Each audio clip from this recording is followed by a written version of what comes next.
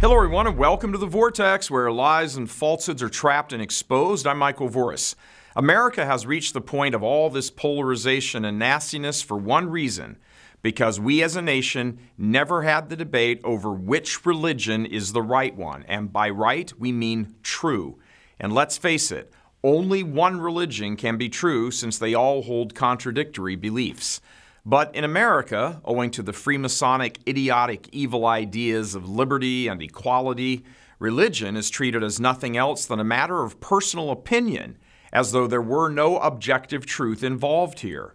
What's your opinion? Oh, that's nice. I believe something completely different. Have a nice day. You go your way, and I'll go mine.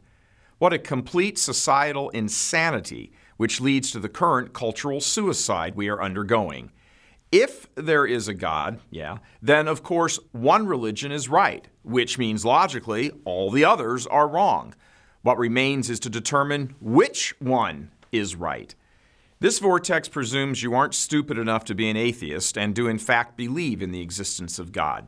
Okay, given that God exists, then a whole series of questions follow from that single fact, just as questions follow from every established fact. Questions like, what is the nature of God? How does the divinity operate within itself? Answers to these questions are revealed in looking at the attributes of God, things we can and do know about God. God is not so mysterious that we can know nothing. In fact, just with our intellects, we can know quite a bit. We know that God must be eternal. It's sort of the definition, at least in part, of being God. Something eternal must therefore, by logic, be the very essence of existence. To exist is to be, and to be is to exist. But if something has always been, then it must be existence itself. Since we humans exist, must have not always existed, then we are not existence itself, but we participate in existence, in being.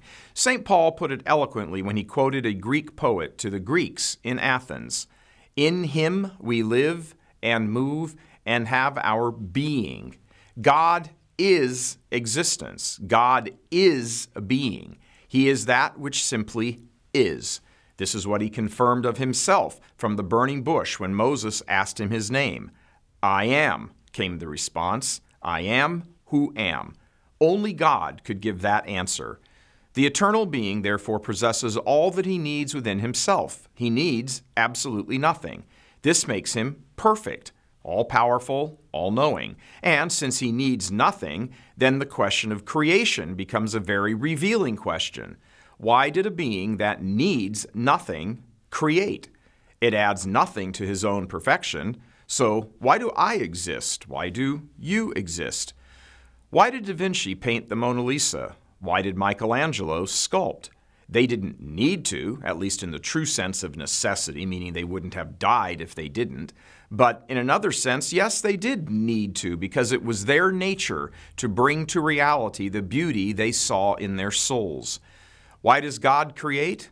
He doesn't need to in the same sense that he would die if he didn't, but he also needed to bring forth his own beauty. It is his nature.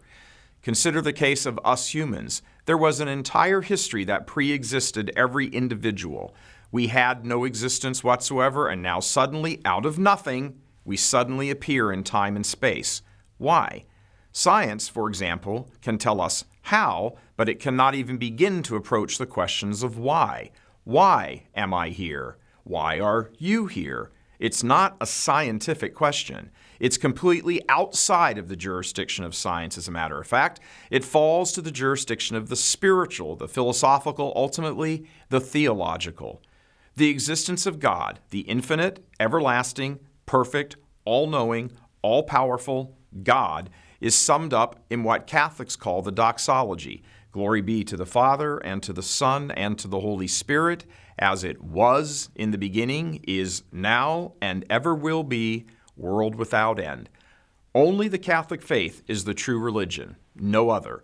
It is only to the Catholic Church that has the fullness of truth been revealed because the Catholic Church is the direct and immediate presence of this eternal God on this earth in this material creation.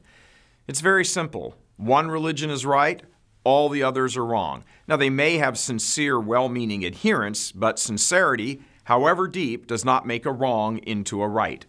No religion on the face of the earth or in the annals of human history carries with it the intellectual heft of Catholicism.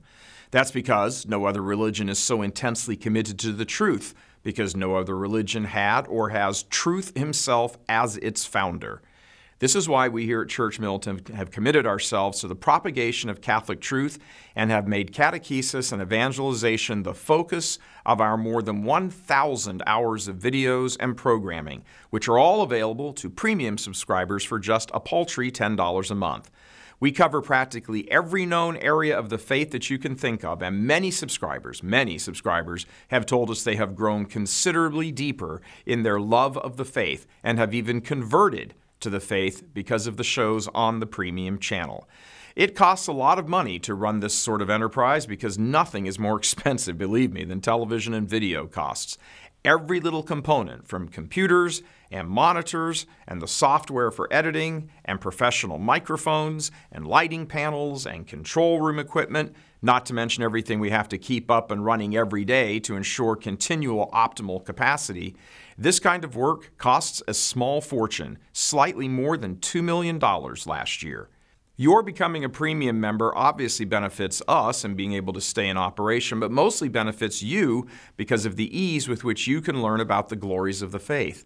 So many Catholics today fall completely silent in the face of people who treat religion as an opinion and not an imperative, an actual objective reality that needs to be studied to arrive at which one is right.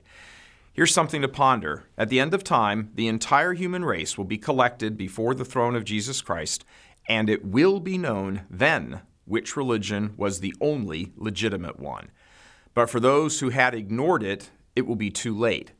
Our duty before that last day is to try and help as many souls as possible come to the reality of the Catholic faith. Our own judgments will be meted out on how diligently we tried to do this while still here on earth. So please click on the link to become a premium member.